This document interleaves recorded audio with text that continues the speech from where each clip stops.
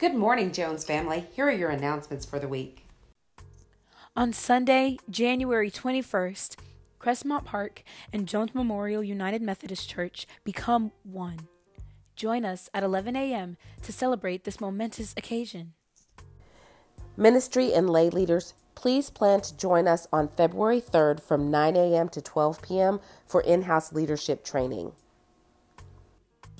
Marriage ministry rehearsals for the Valentine's couple dance will take place each Sunday after 11 a.m. service through February 4th.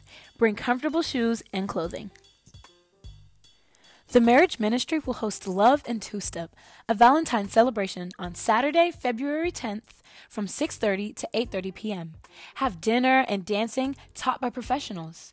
Childcare is also available. Register for $20 in the foyer after service.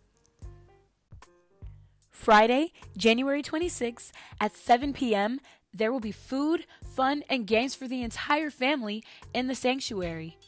Family Feud, bingo, Wii, and more. Select your team for Family Feud and sign up in the foyer. Confirmation classes for 6th graders begins on January 7th at 9:30 in room 150.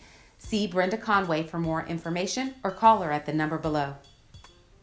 Here at Jones, tithes and offerings are easy. We have four ways to give online, via text by texting GIVE to the number below and following the prompts, in person during the service, or via mail to our address listed on the program.